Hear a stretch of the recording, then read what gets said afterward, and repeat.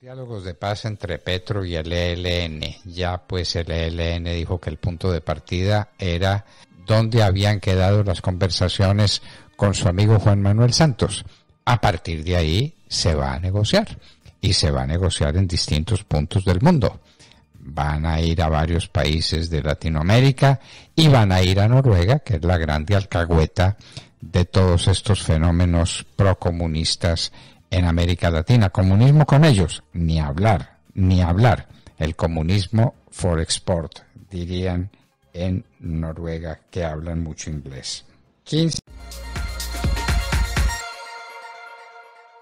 Pero yo quiero también explicar por qué no firmamos esa ponencia eh, y hacer el ejercicio de oposición democrática que estamos haciendo. Nosotros queremos que entiendan qué es lo que nosotros estamos viendo desde la otra Colombia que hoy no gobierna y que entiende que ustedes tienen hoy las mayorías para sacar este proyecto, pero que queremos que salga lo mejor que se pueda. Y quiero volver a repetir, si el gobierno no plantea una política sobre el problema del narcotráfico y la minería criminal, Pueden negociar no con 10, sino con 15, con 40, con 50 y con 100 y con 1000 y vamos a seguir teniendo violencia. Porque esos negocios lo que hacen es mutar de cabeza. Y quiero decirles lo siguiente, mire, el gran enemigo de Colombia es el narcotráfico. El gran enemigo de Colombia, que es un monstruo al que usted le corta la cabeza y le sale otro. El narcotráfico en Colombia ha tenido cabeza de cartel y usted se la corta y se vuelve paramilitar.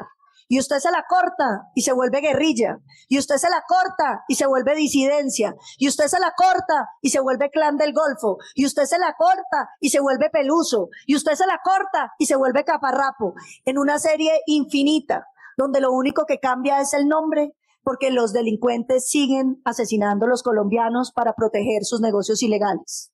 Yo Lamento ser pesimista frente a las negociaciones. Me encantaría poder creer en ellas, pero en mi corta vida me ha tocado ver ya varias y siempre termino viendo que la violencia vuelve y sale con otro nombre. Y sale con otro nombre porque el país ha sido incapaz de afrontar que las violencias en Colombia no son ni políticas, ni ideológicas, ni de oportunidades, ni de pobreza, ni de causas objetivas. Las violencias en Colombia se explican porque tenemos unos negocios multimillonarios. El narcotráfico mueve el 4.5% del PIB nacional en manos de unos pequeños ejércitos. ¿Cuánto es el 4.5% del PIB nacional? Senador JP, un buen año del sector agropecuario entero, entero. Y a eso súmene la minería criminal. Me estaba diciendo León Valencia en un programa que tuvimos en estos días que en los cálculos que ellos tienen Senador Ariel, la minería ilegal por el precio del oro hoy está moviendo casi lo mismo que mueve el narcotráfico. Y entonces, ustedes movilizan a los que son dueños del negocio ilegal y al mismo día, al día siguiente, llegan otras dragas con otros uniformes, con otros fusiles en gracias de discusión y siguen asesinando a los colombianos para proteger sus negocios ilegales. Yo creo que el país tiene que sincerarse. Tiene que sincerarse en el sentido de aceptar que los problemas de este país no son de violencia política, ni de exclusión, ni de pobreza, que todos los hay, pero que todos han venido mejorando a lo largo de estos años. Los problemas de este país se deben a unos negocios multimillonarios que financian la criminalidad y que asesinan los colombianos. Ojalá el gobierno escuche estas recomendaciones, que las hacemos de la mejor buena fe y con el ánimo de contribuir para que este proceso salga lo mejor que pueda para Colombia. Nosotros no queremos ser la oposición que sufrimos. Nosotros no le apostamos al fracaso del presidente Petro, ni le apostamos a tumbar el gobierno a través de la extorsión en las calles. Nosotros queremos que a Colombia le vaya bien. Respetamos el mandato que ha recibido el presidente Petro, pero también pedimos, exigimos que escuchen a quienes quieren aportarle a este país para que las cosas salgan de la mejor manera. Hemos en este, eh, eh, o ha presentado el gobierno y sus ponentes dos tipos de negociación. Las negociaciones, digamos, de tinte político y las negociaciones con estructuras eh, de crimen organizado de alto impacto. Como han cambiado el nombre, a veces me, me, confundo con otros. Quiero ser muy clara. Estructuras de crimen organizado de alto impacto. Sin embargo, yo lamento que aquí no hayan definido cuáles son. Yo tengo la impresión de que el ELN hoy no puede recibir un trato político.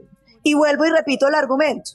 La Corte Constitucional, cuando se refirió a las negociaciones con el paramilitarismo, dijo, grupo insurgente es solo aquel que esté buscando derrocar el orden establecido.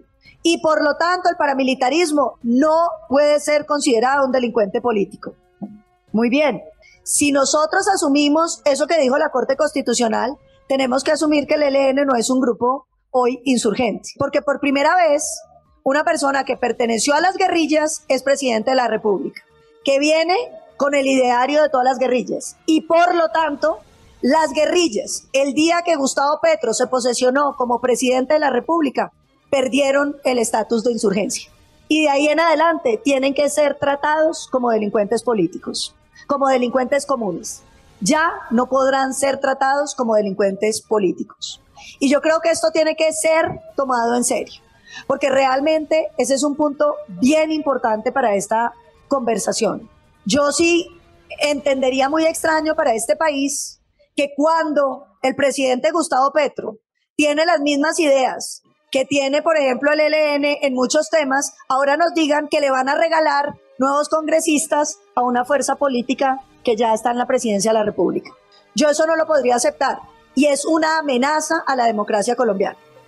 Porque aquí ya no está el argumento que yo nunca he compartido, pero que en aras de esta discusión podemos tener, de que es que las FARC no estaban representadas porque ellos representaban las guerrillas. Ya las guerrillas están representadas. Están representadas en el Congreso y en la presidencia de la República. Y por lo tanto no pueden tener cabida una negociación política con el ELN.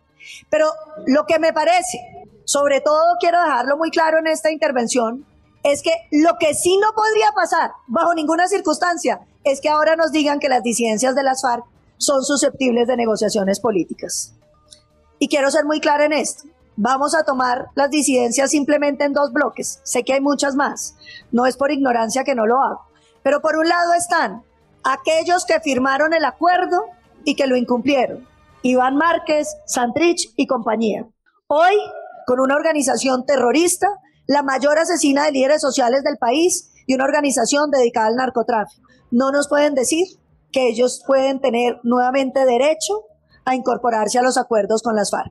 Primero, me parece que es una burla a los firmantes, porque aquí están unos senadores que se han cumplido ¿Y por qué los otros que estuvieron delinquiendo y que siguieron lavando plata ahora van a tener los mismos beneficios que le dimos a quienes sí cumplieron? Me parece que es un atropello contra los miembros de las FARC, pero es un atropello contra los colombianos fundamentalmente.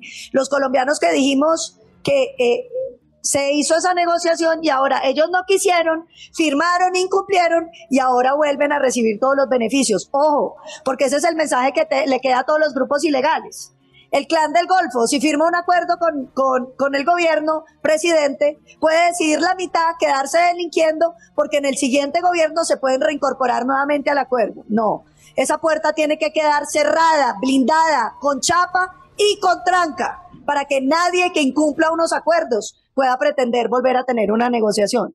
Segundo, quienes de las FARC no hicieron parte de la negociación estuvieron por fuera, se salieron desde el principio, dijeron, no, lo de nosotros no es desmovilizar. Yo me acuerdo que decían, con perdón de quienes se desmovilizaron, en el Cauca la frase que decían es, se van a desmovilizar los gordos del secretariado, los demás nos vamos a quedar acá. Y entonces ellos siguieron delinquiendo, siguieron en el narcotráfico y ahora les van a dar una oportunidad de negociar como grupos políticos. ¿Cuál grupo político?